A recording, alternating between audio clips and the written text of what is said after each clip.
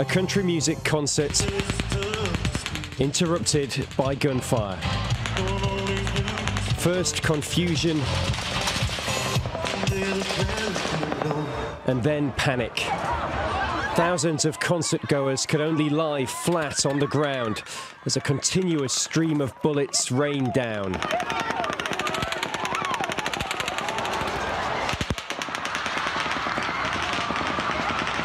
On October 1, 2017, Stephen Paddock, a 64 year old man from Mesquite, Nevada, opened fire on the crowd attending the Route 91 Harvest Music Festival on the Las Vegas Strip in Nevada. From his 32nd floor suites in the Mandalay Bay Hotel, he fired more than 1,000 bullets, killing 60 people and wounding 411, with the ensuing panic bringing the number of injured to 867. About an hour later, Paddock was found dead in his room from a self inflicted gunshot wound. The incident is the deadliest mass shooting committed by an individual in United States history. It focused attention on firearms laws in the United States, particularly with regard to bump stocks, which Paddock used to fire shots in rapid succession, at a rate similar to that of automatic firearms. Bump stocks were banned by the U.S. Justice Department in December 2018. Paddock was born on April 9, 1953, in Clinton, Iowa. As the oldest of four sons of Benjamin Paddock and Dolores Hudson. Benjamin was a bank robber who was arrested in 1960 when Stephen was seven years old. Benjamin was later convicted and escaped prison in 1969, subsequently appearing on the FBI's most wanted list. According to Stephen's brother Eric, he was never with my mom, and Stephen had limited interaction with Benjamin following the latter's release from prison. According to one of Paddock's ex wives in a police interview, he had spoken about how growing up with a single mother and the family's financial instability caused him to prioritize being self reliant and self sustaining. Paddock attended Richard E. Byrd Middle School and Sun Valley High School, graduated from John H. Francis Polytechnic High School in 1971, and graduated California State University, Northridge in 1977, with a degree in business administration. Paddock worked as a letter carrier for the U.S. Postal Service from 1975 to 1978. After that, he worked as an IRS agent until 1984. He was a Defense Contract Audit Agency auditor for one year, in 1985. Toward the end of the 1980s, Paddock worked for three years as an internal auditor for a company that later merged to form Lockheed Martin. He was known to have run a real estate business with his brother Eric. Paddock lived in the greater Los Angeles area and owned personal property in Panorama City, Cerritos, and North Hollywood from the 1970s to early 2000s. He also owned two apartment buildings in Hawthorne, California. In addition, he owned an apartment complex in Mesquite, Texas, which he sold in 2012. Relatives said Paddock was worth at least 2 million US dollars when he sold off the real estate business. Among his most profitable investments was an apartment complex purchased in 2004, which gave him more than $500,000 in annual income by 2011. IRS records show he made 5 to 6 million dollars in profits from its sale in 2015. Paddock was an avid gambler, and although the extent to which he profited from it is not clear, his reported gambling winnings might have been substantial. He was sometimes seen in high limit rooms, but he was not well known among high stakes gamblers in Las Vegas and was not considered a high roller by the casinos. His game of choice was video poker, which he had played for over 25 years. He usually gambled after dark and slept during the day, he disliked being out in the sun. Paddock was married and divorced twice. He was first married from 1977 to 1979, and for the second time from 1985 to 1990, both marriages in Los Angeles County, California. Family members say he stayed on good terms with his ex wives. Paddock lived in Texas and California, and then in a retirement community in Melbourne, Florida, from 2013 to 2015. In 2016, he moved from Florida to another retirement home in Mesquite, Nevada. According to property records, he bought a new house in Mesquite in January 2015 and sold his two bedroom home in Melbourne. Paddock lived in Mesquite with his girlfriend, whom he had met several years before in Reno, Nevada. According to neighbors, they also lived together in Reno. Many Mesquite residents recalled only seeing him around town. Those familiar with Paddock described him as someone who did not speak much and kept a low profile. The local gun owner community never saw him at any of the gun clubs or shooting ranges, including makeshift ones in the nearby desert. An Australian acquaintance said he met Paddock in the United States and in the Philippines. He described Paddock as intelligent and methodical. In his account, Paddock said he had won money by applying algorithms to gambling on machines. Paddock was conversant in gun laws and in defending his view of the Second Amendment. The acquaintance considered Paddock a generous man whenever he and his girlfriend visited him. In 2010, Paddock applied for and received a United States passport. He went on 20 cruise ship voyages, visiting several foreign ports including ones in Spain, Italy, Greece, Jordan, and the United Arab Emirates.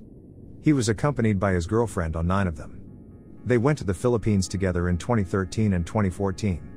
During the last year of his life, they traveled on a cruise to the Middle East. Paddock had his pilot's license since at least 2004 and owned two small planes. Paddock's only recorded interaction with law enforcement was a minor traffic citation years before the shooting, which he settled in court. According to court records, Paddock also sued the Cosmopolitan of Las Vegas in September 2012, saying he slipped and fell on an obstruction on the floor and was injured as a result. The lawsuit settled, and was dismissed with prejudice in October 2014. Paddock's brother Eric said that Stephen had no political or religious affiliations of any kind. Paddock's girlfriend, a Roman Catholic, said he was an atheist, who would blame her whenever she made the sign of the cross and something negative happened afterward. He did not talk about politics and did not belong to any political organizations. In addition, Paddock often complained of being sick and was sensitive to chemical smells. During his last months, Paddock reportedly often smelled of alcohol from early morning and appeared despondent.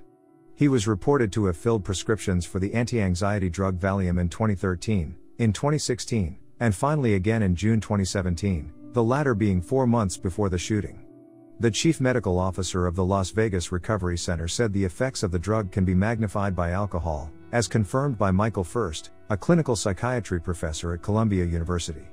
During an interview with local CBS affiliate KLAS TV, Clark County Sheriff Joe Lombardo said Paddock had reportedly been losing a significant amount of wealth since September 2015, which led to his having bouts of depression.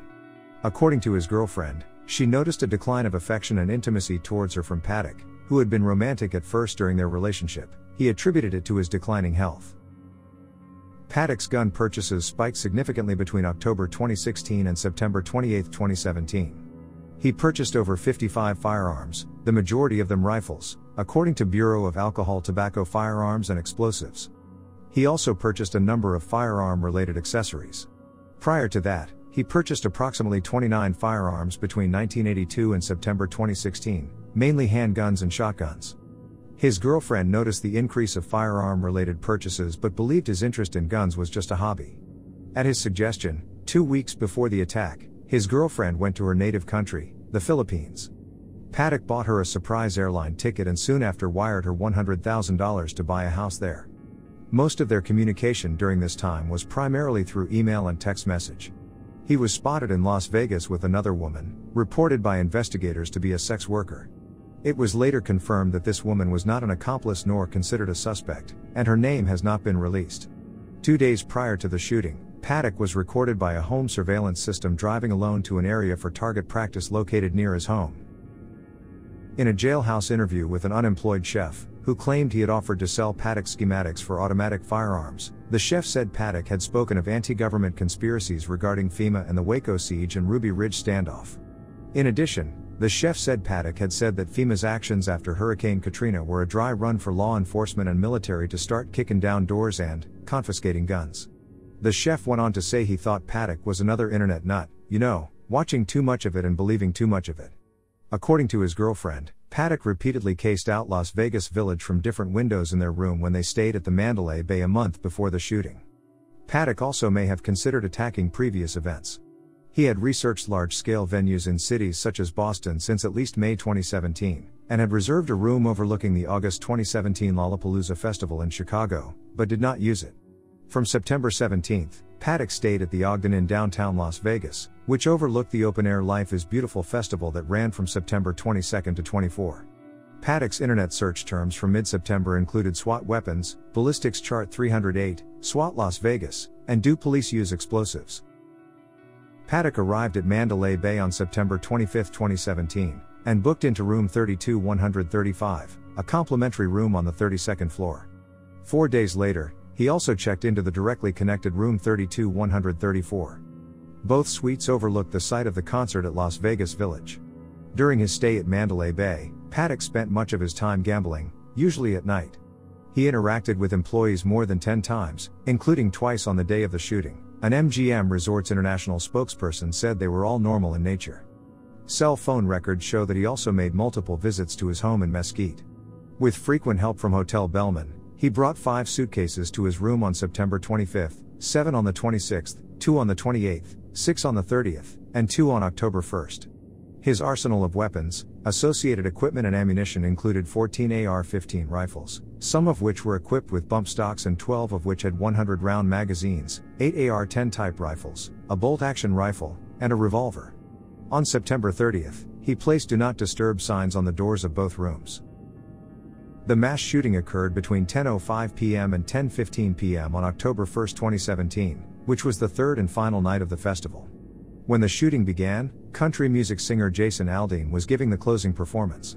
Shortly before 10 p.m., hotel security guard Jesus Campos was sent to the 32nd floor to investigate an open door alert. He attempted to open a door that provided immediate access to the floor, but found that it would not open. After Campos entered the floor, he discovered an L shaped bracket screwed into the door and door frame, which was responsible for barring the door from opening. After reporting the discovery to his dispatch center, he heard what he thought was the sound of rapid drilling coming from room 32 135 and went to investigate the matter. At approximately 10:05 p.m., he was hit in the right thigh by one of about 35 bullets that Paddock fired through the door of his suite.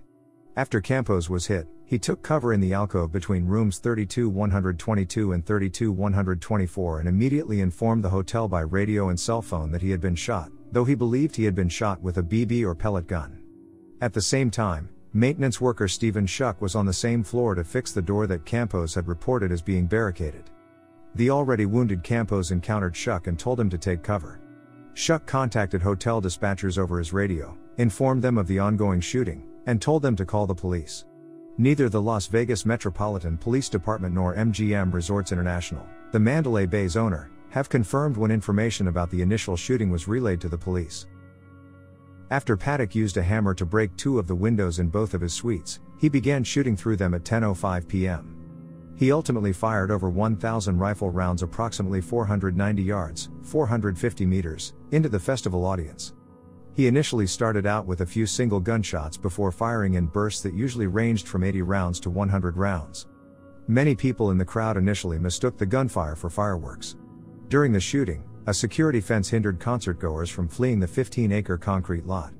The gunfire continued, with some momentary pauses, over the span of 10 minutes and ended by 10:15 p.m. in addition to shooting at the concertgoers. Paddock fired 8 bullets at a large jet fuel tank at McCarran International Airport 2000 feet, 600 meters away. Two of those bullets struck the exterior of the tank, with one bullet penetrating the tank. The fuel did not explode because jet fuel is mostly kerosene, which is unlikely to ignite when struck by a bullet. During the shooting, police officers were initially confused whether the shots were coming from the Mandalay Bay, the nearby Luxor Hotel, or the festival grounds. There were also multiple false reports of additional shooters at other hotels on the strip. Officers eventually spotted multiple flashes of gunfire from the middle of the northern side of Mandalay Bay and responded to the hotel. At 10:12 p.m., Two officers on the 31st floor reported the sounds of gunfire on the floor above them. When officers arrived on the 32nd floor at 10:17 p.m. and encountered Campos a minute later, he directed them to Paddock's room and helped others evacuate. Campos was then directed to seek medical attention for himself. Between 10:26 p.m. and 10:30 p.m., eight additional officers arrived at the 32nd floor. Some of those officers manually breached through the door Paddock had screwed shut with the bracket. The gunfire had ceased, and the police moved systematically down the hallway, searching and clearing each room, using a master key that was provided by Campos. At 10:55 p.m., the officers finished evacuating guests. At 11:20 p.m., police breached room 32-135 with explosives. Paddock was found dead on the floor from a self-inflicted gunshot wound to the head. Police then breached room 32-134. While entering the hotel suite, an officer accidentally fired a three-round burst from his weapon but the bullets did not hit anyone. At 11:27 p.m., officers announced over the police radio that a suspect was down. McCarran International Airport, adjacent to the shooting site, was shut down for several hours. Approximately 300 people entered the airport grounds as they fled from the shooting. This prompted officials to shut down all four runways. More than 25 flights were rerouted to ensure that no aircraft would be hit by gunfire, while other flights were cancelled before airfield operations resumed at 12:40 a.m. on October 2. According to chronology of the events established by the authorities in the following days, the first two police officers reached the 32nd floor of the hotel at 10:17 p.m. A minute later, they were shown the location of Paddock's door. Between 10:26 and 10:30 p.m., an additional 8 LVMPD officers joined them and began clearing other suites along the 32nd floor hallway. At 10:55 p.m., 8 SWAT team members entered the 32nd floor through the second stairwell nearest to Paddock's suite. Once all the other rooms on the floor had been cleared, at 11:20 p.m., more than an hour after the first two officers arrived and 65 minutes after Paddock had ceased firing, the police breached his door with an explosive charge and entered the room. Paddock was found dead inside his suite from a self-inflicted gunshot to the head. In addition to the firearms and accessories found in Paddock's hotel room, there was a note that included handwritten calculations about where he needed to aim to maximize his accuracy. The note contained the actual distance to the target, his pinpoint own elevation, and the bullet trajectory relative to the line of fire. There were also a number of laptops in the suite, one of which was missing a hard drive. Computer forensics discovered hundreds of images of child pornography on the laptops. Ammonium nitrate, often used in improvised explosive devices, was found in the trunk of his car, along with 1,600 rounds of ammunition and 50 pounds, 23 kilograms of tannerite, a binary explosive used to make explosive targets for gun ranges. However, investigators clarified that while Paddock had nefarious intent with the material, he did not appear to have assembled an explosive device. An additional 19 firearms were found at his home. According to police, Paddock acted alone. His motive remains unknown. There has been some discussion around brain pathology initially thought to be benign as a possible contributor. Paddock's remains were sent to Stanford University to receive a more extensive analysis of his brain.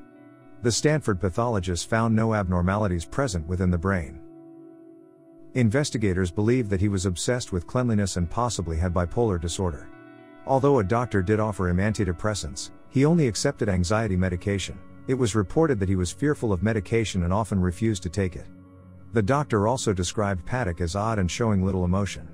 Psychologists ex post facto have noted a distinct similarity between Paddock's demeanor and the psychological construct alexithymia, which might have modulated his decision to conduct the shooting given its association with various mass murderers throughout history.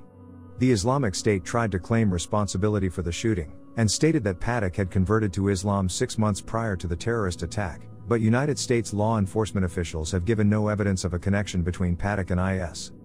IS also identified Paddock as Abu Abdul Bar al Amriki. As of October 2020, there were 61 deaths, including that of Paddock. The immediate fatalities comprised 58 victims, 36 women and 22 men, all of whom died from gunshot wounds. The oldest was 67 and the youngest was 20. 34 were from California, 6 from Nevada, 4 from Canada, 2 from Alaska and Utah, and 1 each from Arizona, Colorado, Minnesota, Massachusetts, New Mexico, Pennsylvania, Tennessee, Washington State, West Virginia, and Wisconsin. 31 of the victims were pronounced dead at the scene, while 27 succumbed to their wounds at the hospital, with the last of those dying on October 3, two days later. Paddock's suicide was the only death at the Mandalay Bay Hotel. A 57 year old woman from California, who had been paralyzed in the shooting, died more than two years later on November 15, 2019. On August 24, 2020, the San Bernardino County Medical Examiner officially attributed her death to the shooting, though the Las Vegas Metropolitan Police Department, LVMPD, declined at the time to include her in the official death toll. The LVMPD also initially declined to include a 49 year old Nevada woman who died from complications of a leg wound on May 26, 2020. The department revised its decision, however, and on October 1, 2020, included both women in the count. The incident was the deadliest mass shooting committed by an individual in the United States, exceeding the death toll of the 2016 Orlando nightclub shooting, in which 49 people lost their lives. On August 3, 2018, Clark County Sheriff Joe Lombardo held a press conference on the release of the LVMPD criminal investigative report of the October 1 mass casualty shooting. He said the 10 month investigation had revealed no evidence of conspiracy or a second gunman, and that the gunman's motive had not been definitely determined. Lombardo said what we have been able to answer are the questions of who, what, when, where, and how. What we have not been able to definitively answer is why Stephen Paddock committed this act. A report published by the FBI's Behavioral Analysis Unit in January 2019 said that there was no single or clear motivating factor for the shooting. Please subscribe to the channel so we can keep creating this type of videos. See you at the next one. Stay safe.